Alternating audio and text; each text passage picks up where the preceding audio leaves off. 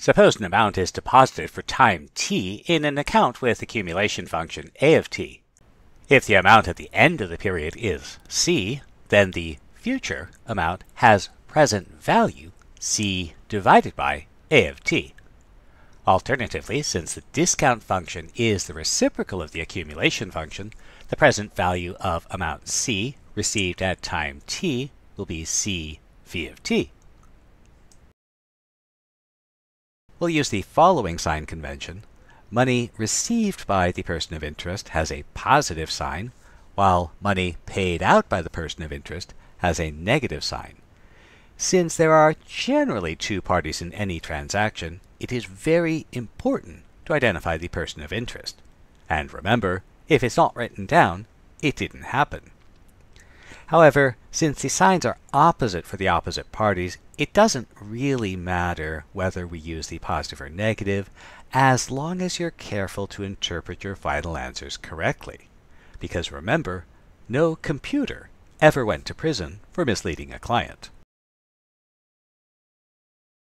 So, for example, suppose we borrow $1,000 from a bank to be paid back in six months. Determine the signed amount from your point of view and from the bank's point of view. So at a 7% discount, the $1,000 would be given to you as $930 now. And since this is money to you, this would be recorded as 930 with an optional plus sign indicating positive. Meanwhile, in six months, you pay $1,000, and since this is money you're paying out, this would be recorded as a negative number minus 1,000.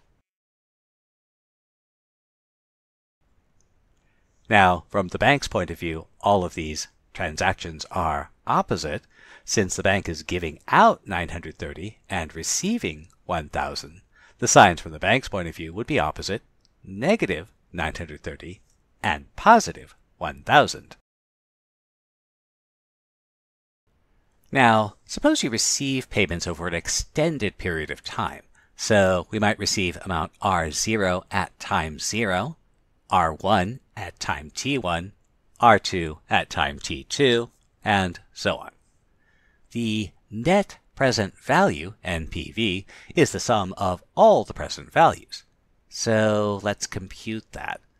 The amount that we received at time 0, R0, the present value of R0 is R0 V0. That's the amount we received times the discount function. The present value of R1 to be received at time t1 is R1 V of t1, the value times the discount function. And the present value of R2 to be received at time t2 is R2 V t2, and so on. And the net present value is the sum of all these terms, which we can write this way. Or suppose you deposit 1,000 now and 1,000 in a year and receive 1,200 in five years and another 1,200 in the six years. Let's find the NPV assuming a compound interest rate of 5% per year and interpret our results. Note that the transactions occur at t equals 0 now, t equals 1 a year from now, t equals 5, and t equals 6. At t equals 0 and 1, you pay $1,000, so these values are negative. At t equals 5 and 6, you receive $1,200, so these values are positive. And since the interest rate is 5% per year, then our accumulation function is 1.05 to the t, and our discount function is 1 divided by 1.05 to the t. Filling in our values and computing gives us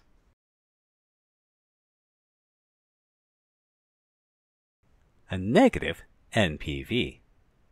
Now, remember, we're using the convention that money you pay out gets a negative sign. So, since a negative amount corresponds to something you pay out, this investment is a net loss for you. And again, one way we might interpret this is we might say that if we simply made the deposits into an account earning 5%, we'd be able to get more than $1,200 in the fifth and sixth years. So if this raises the question of how much we should get out. So suppose we deposit a thousand now and in a year into an account earning compound interest at a rate of 3% per year.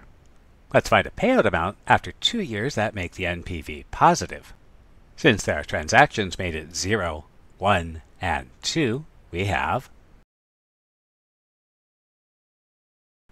Now we pay out 1,000 now, so R0 is negative 1,000 and V0 is equal to 1.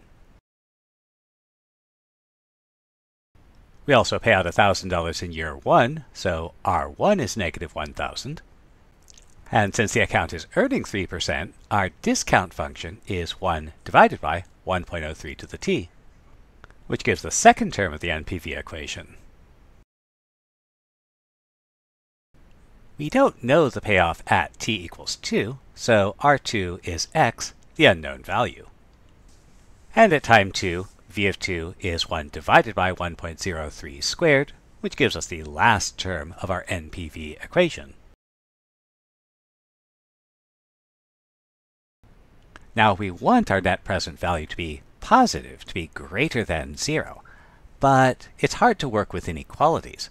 So a useful strategy, ignore inequalities, but remember they exist. So we'll start with NPV equal to 0 and solve.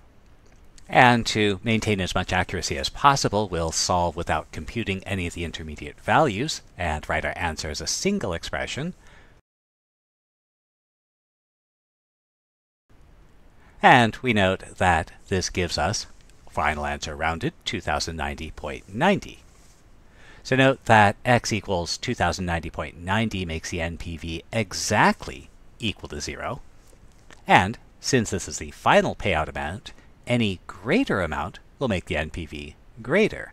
And so any payout greater than 2090.90 will result in a positive NPV.